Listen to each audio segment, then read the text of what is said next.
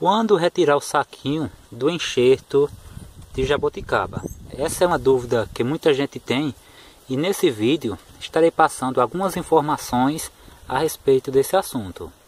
Olha pessoal, aqui nós temos um enxerto de jaboticaba.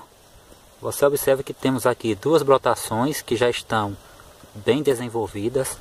Aí para você identificar o momento certo de tirar esse saquinho dos seus enxertos de jaboticaba, você deve observar primeiramente como é que está o desenvolvimento dessas brotações. Muitas vezes as pessoas falam um determinado período de tempo para tirar, mas o mais importante é que você observe como está o desenvolvimento dessas brotações.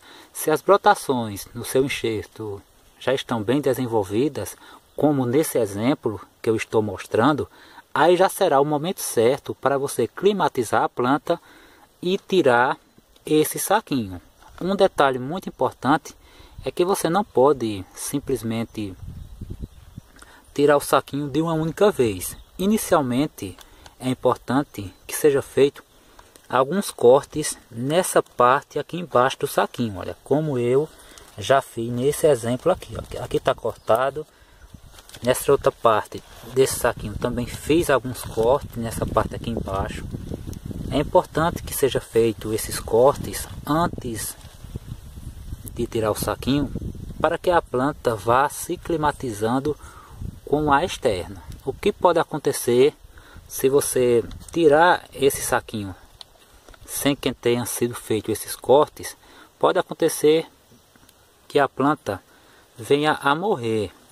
Começa a queimar aqui as folhas e a planta venha a morrer e você perca o enxerto de jabuticaba. Isso pode também acontecer com outros tipos de plantas frutíferas que tenha sido feito enxertia.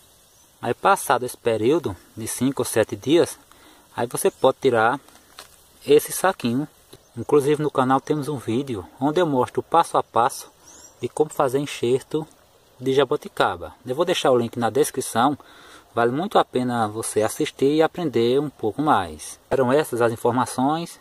Se você gostou deste vídeo, não se esquece de se inscrever no canal. Obrigado pela sua atenção, forte abraço e até a próxima.